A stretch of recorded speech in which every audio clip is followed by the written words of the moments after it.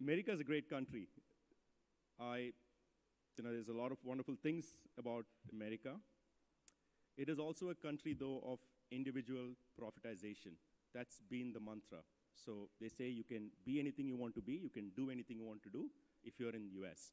Which is why the, you know, the, the saying that most people in America, and unfortunately the world, uses when they try to encourage individual profitization is what Steve Jobs said stay hungry and stay foolish.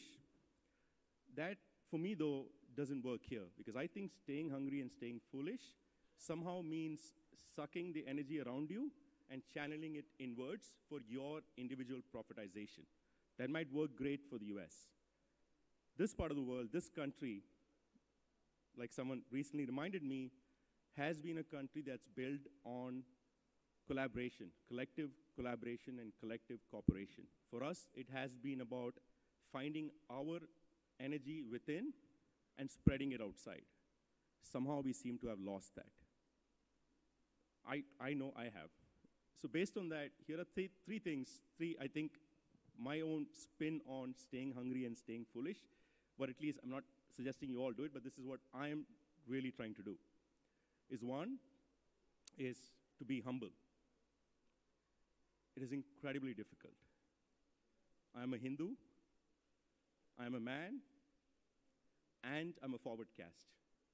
In the totem pole of discrimination in India, I'm at the top, meaning I am completely privileged, completely privileged in this country in all respects. Humility comes very hard to me because I'm privileged. It doesn't, it's not natural.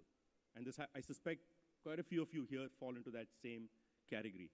You know, there's a lot of different boxes, but somehow in that totem pole, maybe not in this country, somewhere, there are instances when we realize we are privileged. For privileged people, humility is very hard. I'm sure in, you all realize that in the work that you do, some of the most humble people are the people who have very little. So I'm really, really trying very hard to be humble, which, like I said, the only people who remind me and bring me down to earth are my kids. They often remind me and they say things the way that should be said. So my, my request for all of you who work in this field is to be humble. Second, be present. And what do I mean by that? If you're not really committed to the cause that you're working on, I think you shouldn't be working on that. And I shared some of this before. A lot of us think that giving opinions and saying things about a social cause is enough. And that's what we do. I've been doing that for the longest time. Unfortunately, and this is something that I read and I really believe in it, opinion is the lowest form of human intelligence or knowledge. Opinion has no accountability and requires no understanding. Empathy, on the other hand, is the highest form of human intelligence because it means we've got to suspend our ego and live in someone else's world. It is incredibly difficult to have empathy, especially for things that really do not affect you. We work on gender equality, we work on women's issues. I am, it is, I, I have a lot of opinion on that. To transition to a phase where it translates to empathy, for me, is a learning process. I have the will, which is why I continue working on that and focusing on that issue, but it's difficult. So I would urge all of you to find something that you truly empathize with or would like to empathize with, and then work on that. Everyone doesn't have to work on gender inequality. Everyone doesn't have to work on farmers' issues.